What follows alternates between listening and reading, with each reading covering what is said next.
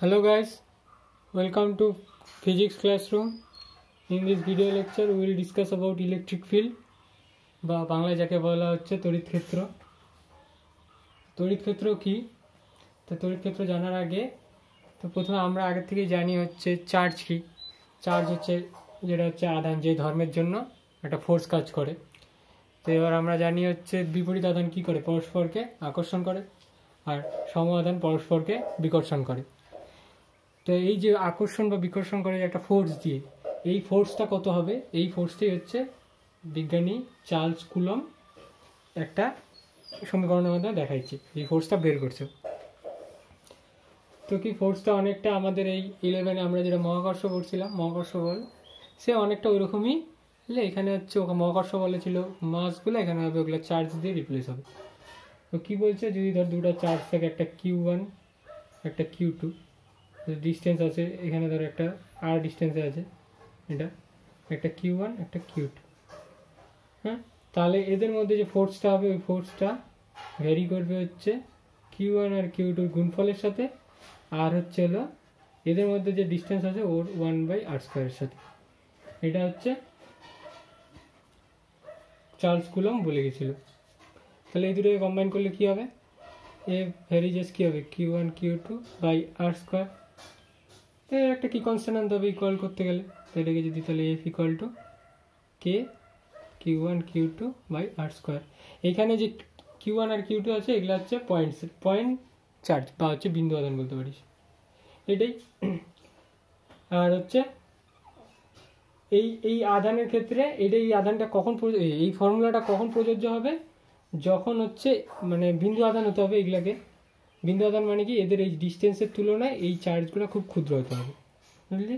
তাহলে এবার এটি হচ্ছে আমার কুলম্বের সূত্রটা এবার কনস্ট্যান্টটা লাগবে। তো সিজিএস আর এসআই দুটো আছে। সিজিএস পদ্ধতিতে সিজিএস পদ্ধতিতে হচ্ছে কনস্ট্যান্টটা কে ইকুয়াল টু ওয়ান হয়। আর এসআই পদ্ধতিতে যখন করি এসআই পদ্ধতিতে কে ইকুয়াল টু লিখি হচ্ছে one by four pi epsilon zero তাহলে এফ ইকুয়াল টু কি আসতেছে? One by four pi epsilon zero Q one Q two by R square হ্যাঁ? তাহলে এই one by four pi seven zero এটার একটা স্ট্যান্ডার্ড ভ্যালু আছে, যেটা হচ্ছে যেটা হচ্ছে nine into ten to the power nine বলে এই যে এইটুটি nine into ten to the power nine এর একটা ইউনিট আছে ইউনিটটা পরে বলছি, খালি আগে ভ্যালুটা শুনবে সেখানে ফোর বাই তো কনস্ট্যান্ট তাহলে এফসেলেনের একটা ইউনিট থাকবে। এফসেলেনেরও আবার স্ট্যান্ডার্ড একটা ভ্যালু আছে, যেটা হচ্ছে এফসেলেনের ভ্যালুটা হচ্ছে এইট পয়েন্ট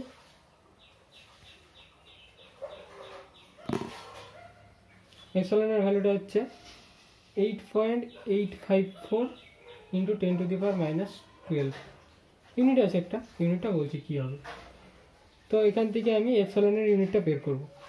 তাহলে আমি কি ইউনিট বের করতে গেলে কি চার্জের ইউনিট কি কুলম তাহলে হচ্ছে এ ফোর্সের ইউনিট কি? নিউটন। আর হচ্ছে এটা কি ডিস্টেন্স তাহলে মিটার হবে। তাহলে কি, আমি এখান থেকে এফসেলনের ইউনিটটা বের করব। তাহলে এফসেলন ইউনিট কী হবে? যদি তাহলে ফোর বাই এফসেলন জিরো যদি করি বা যদি এফসেলনের ইউনিট খুলতে হয় তাহলে পরে কী করতে হবে? উপরে হচ্ছে হলো এফসেলনটাকে যদি রাখি, তাহলে হচ্ছে এফসেলনের দিকে নিলাম। তাহলে হচ্ছে এখানে কিউ ওয়ান কিউ টু আসবে। ফোর পাই একটা তো থাকলেই। ইন্টু হচ্ছে এফ আছে ইন্টু হচ্ছে আর স্কোয়ার তাহলে ইউনিট যদি করি, তাহলে কিউ ওয়ান কিউ টু হচ্ছে কুলম্বের স্কোয়ার নিচে ফোর এটা কি নিউটন হয়ে যাবে? নিউটন। আর এইটা তো ফোর পাই তো কনস্ট্যান্ট তাহলে তো কোনো ইউনিট হবে না। আর হচ্ছে আর স্কোয়ার এটা হচ্ছে তাহলে মিটার স্কোয়ার তাহলে ইউনিট বললে কী হবে? Coulomb square newton inverse metre to the power minus এটি হচ্ছে আমার এফসেলন এফসেলনের ইউনিট তাহলে ফোর্স কি? ফোর্স হচ্ছে ফোর্সের যে আবার আর আছে, তো ফোর্সের একটা ডাইরেকশন আছে একটা। ফোর্সের ডাইরেকশন আছে, তাহলে এইটা যদি কিউ ওয়ান হয়, এটা যদি কিউ ওয়ান হয়, এটা যদি কিউ টু হয়, তাহলে এই চার্জের জন্য এই চার্জের উপরে ফোর্স কত? ওটা ধরে নিচ্ছি, এইদিকে ডাইরেকশন হচ্ছে আর ওয়ান টু তাহলে ফোর্স কত হবে? এফ ওয়ান টু তাহলে এটা কত হবে? Q one Q two by r one tour square r one two vector আর যদি উল্টাটা হয়, এই কিউ টুর জন্য কিউ ওয়ানে তাহলে ওইটা এইদিকে দিচ্ছি তো তাহলে ওটা হচ্ছে আর টু ওয়ান ভেক্টর দিলাম। তাহলে কত হবে? এফ ওটা যদি তাহলে টু ওয়ান নাম দিলাম, তাহলে Q one Q two by হচ্ছে r two one square r two one vector তাহলে r one r one two আর আর টু ওয়ানের ম্যাগনিচিউডটা তো সেম ভ্যালুটা ভ্যালুটা সেম যদি মড ভ্যালু নিই ভ্যালুটা সেম কিন্তু হচ্ছে ডাইরেকশন আলাদা। তার মানে এফ তাহলে এইখান থেকে আর এখান থেকে কী বলতে পারি? F one two vector equal হচ্ছে minus F two one vector এটাই আছে তাহলে এখানে হচ্ছে তো এটাই হচ্ছে তড়িৎ ক্ষেত্রের থেকে মানে ফোর্সটা কত হবে? এটা বের করতে হবে। এবার হচ্ছে এই যে এই যে ফোর্সটা তড়িৎ বলটা আর হচ্ছে মহাকর্ষ বলটা অনেকটা একই রকম। তাহলে এর কতগুলো সাদৃশ্য আর বৈসাদৃশ্য আছে? তো ওগুলোই বের করছে। তাহলে কি সাদৃশ্য কি? দুটোই হচ্ছে ওয়ান বাই আর স্কোয়ারের সাথে সমানুপাতিক। আর হচ্ছে তারপরে এগুলো কি? দুটো বলই শূন্য মাধ্যমে কাজ করে। তারপরে এগুলো দুটোই হচ্ছে সেন্ট্রাল ফোর্স মানে কেন্দ্রীয় বল। এক, কোনো একটা কিছু রেসপেক্টিভ ফোর্সটা কাজ করে।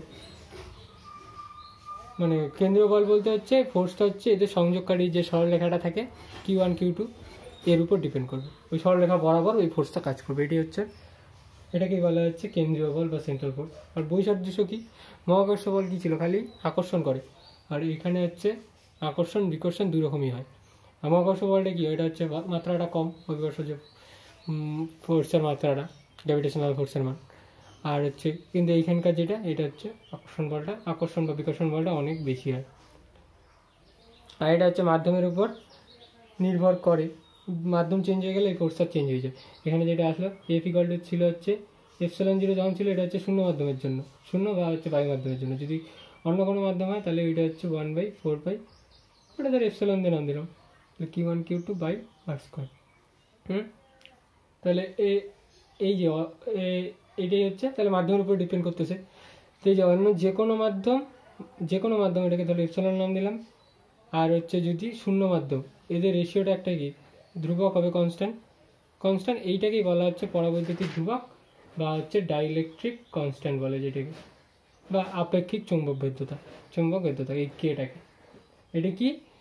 যে কোনো মাধ্যমে তড়িৎ বৈদ্যুতা আর হচ্ছে শূন্য মাধ্যমে তড়িৎ বৈদ্যুতার রেশিওটা তাহলে এই কে এর কোনো দুটো তো সেম জিনিসই। সেম ইউনিটগুলো তো সেমই তাহলে কে এর কোনো ইউনিট থাকবে না। ইউনিটলেস একটা একটা হচ্ছে একটা সংখ্যা ডিজিট নাম্বার হবে।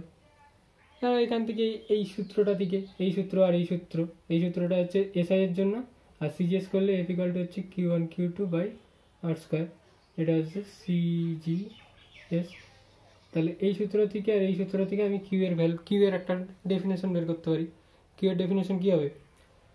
যদি এই এইটা করি, তাহলে এটা ধরো আমি, এটা যদি করি, এইটার ভ্যালু আমি জানি হচ্ছে nine into ten to power nine হ্যাঁ?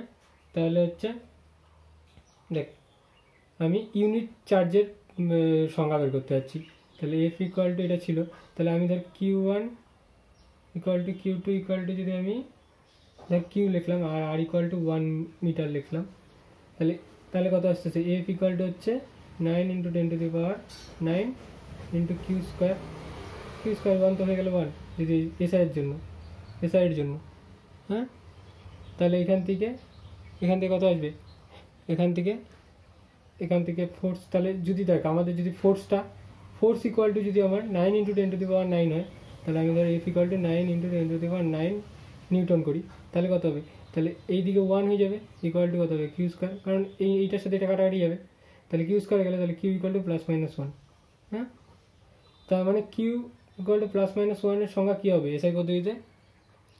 যদি দুটা সমপরিমাণ বিন্দু আদান এই সমপরিমাণ বিন্দু আদান কিউ ওয়ান কিউ টু বিন্দু আদানকে যদি শূন্য মাধ্যম বা বায়ু মাধ্যমে বায়ু মাধ্যমে কী হলো?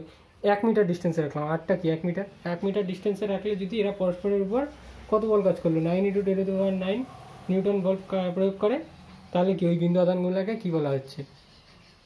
একক আদান এটা হচ্ছে এসআইতে গেল। আর সিজিএসে করলে কী হবে? সিজিএস এটা সোজাই। এফ ইকুয়াল টু এখানে কিউ ওয়ান কিউ টু কত?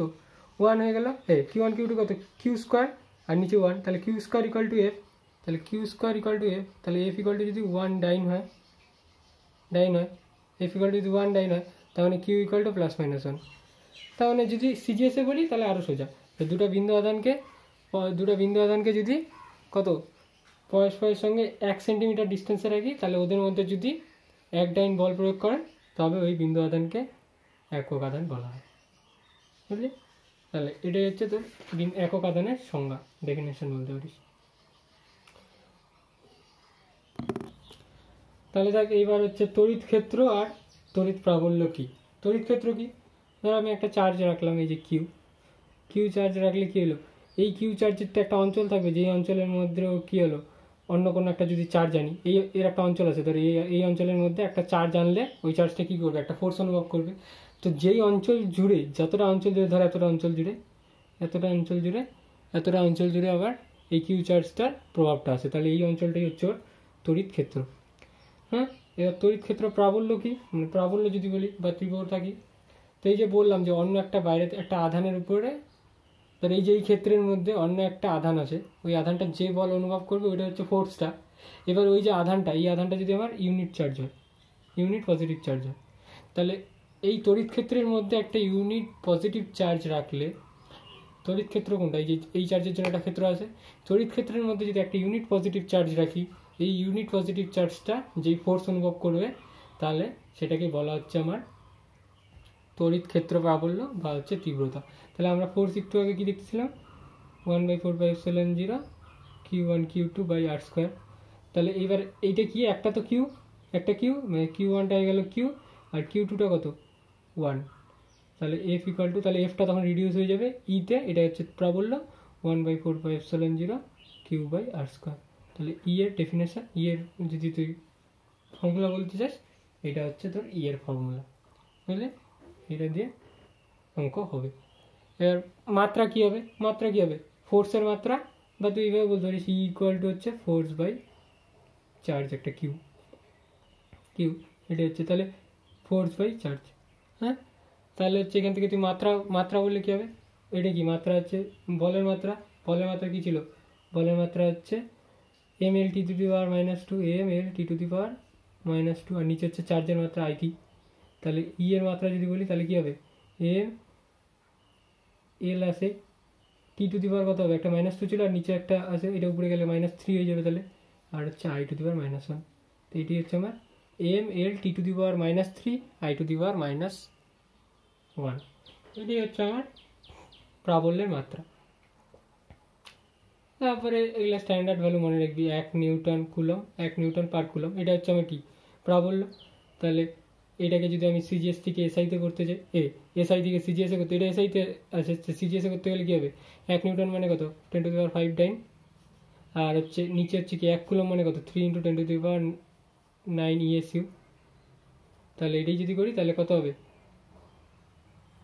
One by three into ten to the power four nine per ESU তাহলে এক নিউটন এগুলা অঙ্ক করার ক্ষেত্রে কাজে লাগবে তাহলে এক নিউটন এক newton per coulomb equal to হচ্ছে one by three into ten to the power four dyne per ESU